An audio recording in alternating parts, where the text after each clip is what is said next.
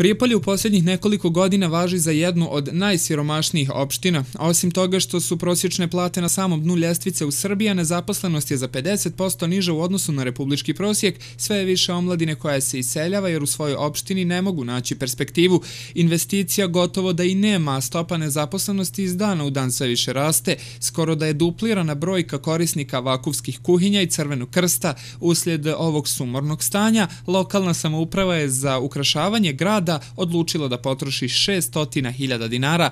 Na trgu je jučer postavljena jelka sa osloncem koji su činile dvije odvaljene kante za smeće sa platoa. Iz BDZ Sanđaka ističu da je sramna odluka vladajuće garniture da se za ukrašavanje potroši toliki novac kada 70% stanovništva ne prima platu veću od 10.000 dinara. BDZ Sanđaka najoštrije osuđuje odluku vlasti u Prijepolju koju čine SDP, SDA, DS, DSS, iz SRS po kojoj je za ukrašavanje grada iz budžeta opštine potrošeno preko 600.000 dinara.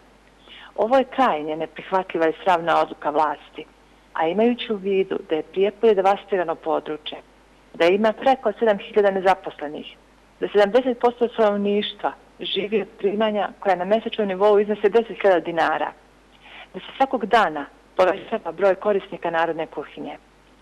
I sada će opština Gladnik finansirati ukrašavanje grada.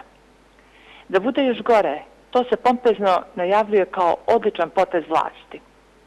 Na kraju ću samo citirati narodnu poslovicu.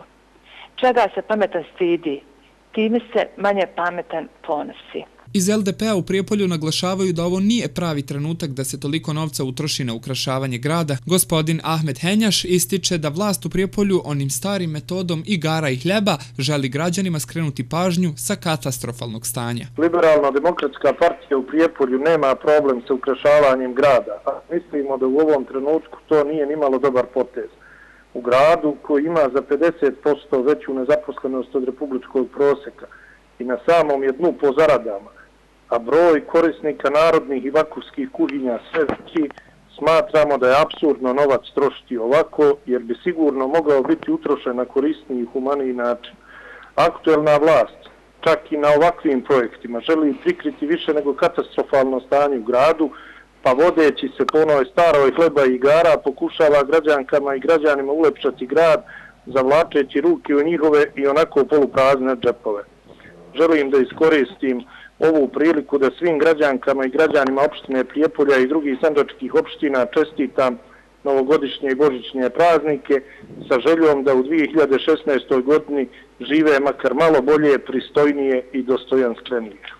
Cijeli svijet bori se za očuvanje ekologije, zabranjivajući i strogo kažnjavajući sječu drveća. Iz opozicije poručuju da je prvi čovjek grada Emir Hašimbegović gestom dozvole da se odsječe još jedno stavlo, poslao negativnu poruku mladima na koje se stalno apeluje da čuvaju svoju životnu sredinu. Ostaje pitanje da li ova jelka vrijedi 600.000 dinara.